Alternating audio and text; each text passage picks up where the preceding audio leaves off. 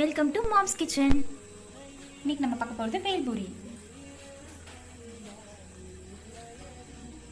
பேல்பூரி செய்வ தேவையான பொருட்கள் என்னென்னா மிச்சர் பொரி தென் பொடி பொடியாக கட் பண்ண பெரிய வெங்காயம் தென் வெள்ளைக்காய் தென் தக்காளி அண்ட் தென் லெமன் இப்போ வெள்ளரிக்காய் இல்லாதவங்க மாங்காய் போட்டுக்கலாம். மோஸ்ட்லி மாங்காய் செய்தால் தான் ரொம்ப நல்லாயிருக்கும் அப்புறம் கருவேப்பிலை நாங்கள் வந்து மாங்காய் தான் இருக்க எடுத்திருக்கோம். உப்பு தேவையான அளவு உப்பு. Tomato sauce and then chaat masalas இப்போ எப்படி செய்யுதுன்னு பார்க்கலாம். ஃபர்ஸ்ட் ஆனியன் ஆட் பண்ணிக்கோங்க. ஆனியன் ஆட் பண்ணதுக்கப்புறம் ஃபைனாக சாப் பண்ணி வச்சு டொமேட்டோ ஆட் பண்ணிக்கோங்க.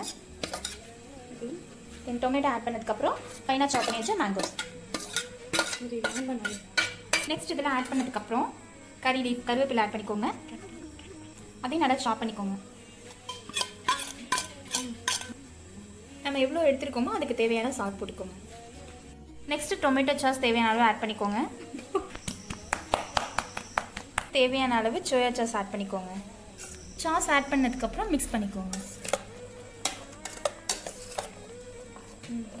தேவையான அளவு மசாலா நெக்ஸ்ட்டு சாட் மசாலா ஆட் பண்ணிக்கோங்க. நெக்ஸ்ட் சில்லி பவுடர் ஆட் பண்ணிக்கோங்க. தென் மிக்ஸ் இட் இது நல்லா மிக்ஸ் பண்ணிக்கோங்க. அடுத்து நான் ஒன் பேக்கெட் பொரி எடுத்திருக்கேன்.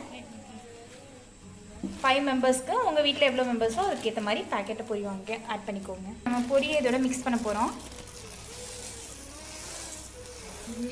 நல்லா மிக்ஸ் பண்ணிக்கோங்க. நெக்ஸ்ட்டு பொரி ஆட் பண்ணதுக்கப்புறம் தேவையான அளவு மிக்சர் நான் வந்து த்ரீ ஃபிஃப்டி கிராம் எடுத்திருக்கேன். ஃபைவ் மெம்பர்ஸ்க்கு உங்கள் வீட்டுக்கு எவ்வளோ தேவையோ ஆட் பண்ணிக்கோங்க. தேவையான அளவு மிக்சர் ஆட் பண்ணிக்கோங்க. இப்போ இதை நல்லா மிக்ஸ் பண்ணி விடுங்க.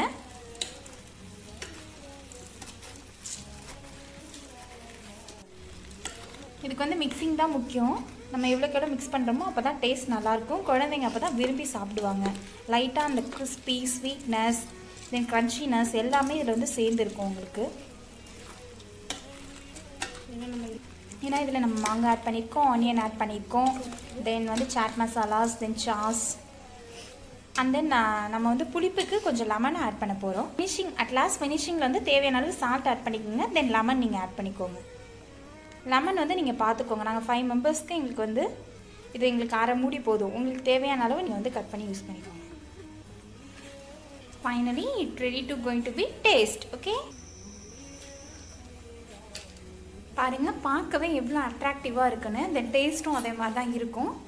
ஸோ நீங்கள் உங்கள் குழந்தைங்க ஸ்கூல் விட்டு வந்ததுக்கப்புறம் இதை செஞ்சு கொடுத்தீங்கன்னா இது ரொம்ப ஹெல்த்தியாகவும் இருக்கும் ஹைஜீனிக்காகவும் இருக்கும் ஓகே இப்போ நம்ம டேஸ்ட் பண்ணி பார்க்க போகிறோம் Wow! The taste is better level. Bro.